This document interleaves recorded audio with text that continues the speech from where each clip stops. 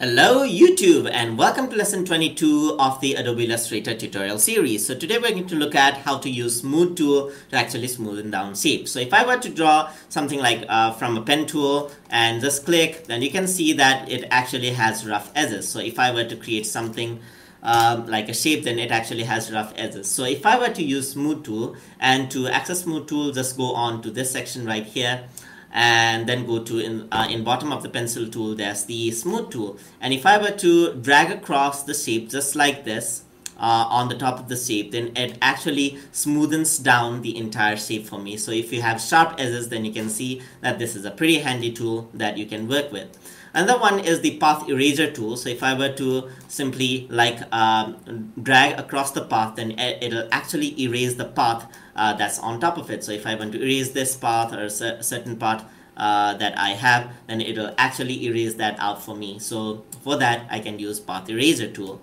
I can also use eraser tool in regular shape. So if I have a shape and if I want to erase this, for example, especially it works better with a fill color, uh, even a normal color will be okay. So let me just select the fill color for this.